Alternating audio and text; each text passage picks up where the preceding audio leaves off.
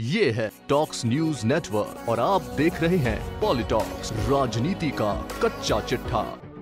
कोलकाता में trainee doctor के rape murder मामले में भारतीय जनता पार्टी द्वारा बुलाए गए बंगाल बंद के दौरान हुए प्रदर्शन व आगजनी पर प्रदेश की मुख्यमंत्री ममता बनर्जी और असम के मुख्यमंत्री हेमंत बिस्वा शर्मा आपस में भिड़ गए हैं। दोनों के बीच तनातनी और आरोपों का दौर शुरू हो गया है। एक तरफ़ ममता बनर्जी ने पीएम मोदी को आरोपों के घेरे में घेर लिया वहीं बिस्वा शर्मा ने सीधे सीधे तृणमूल कांग्रेस प्रमुख को आँखें दिखा दी है।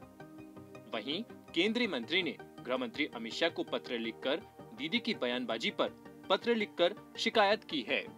दरअसल, कोलकाता में ट्रेनी डॉक्टर के रेप मर्डर केस में छात्र संगठनों के प्रोटेस्ट मार्च के बाद बीजेपी ने 28 अगस्त को 12 घंटे का बंगाल बंद बुलाया था।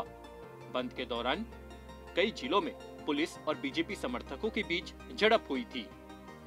गोलाबारी की घटनाएँ भी सामने आई है। इसमें कई नेताओं वर्कर्स को हिरासत में लिया गया है। टीएमसी के करीब 50-60 लोगों पर हमला करने के आरोप लगाए गए हैं। इसके बाद तृणमूल छात्र परिषद के 27वें स्थापना दिवस के मौके पर छात्र परिषद को संबोधित करते हुए सीएम ममता बनर्जी ने पीएम मोदी पर बंगाल को चलाने का आरोप लगाया। सीएम ममता बनर्जी ने कहा कि कुछ लोगों को लगता है कि यह बांग्लादेश है। मुझे बांग्लादेश से प्यार है। वे हमारी तरह बात करते हैं और हमारी संस्कृति भी एक जैसी है। लेकिन याद रखिए कि बांग्लादेश अलग देश है और भारत अलग देश है।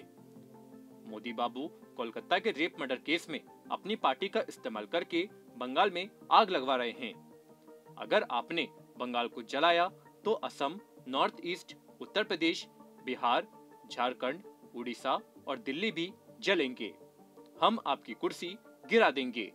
वहीं बंगाल सीएम ममता बनर्जी के इस बयान का प्रति उत्तर देते हुए असम के मुख्यमंत्री हेमंत बिस्वा शर्मा ने पोस्ट कर लिखा कि, दीदी, आपकी हिम्मत कैसे हुई असम को धमकाने की?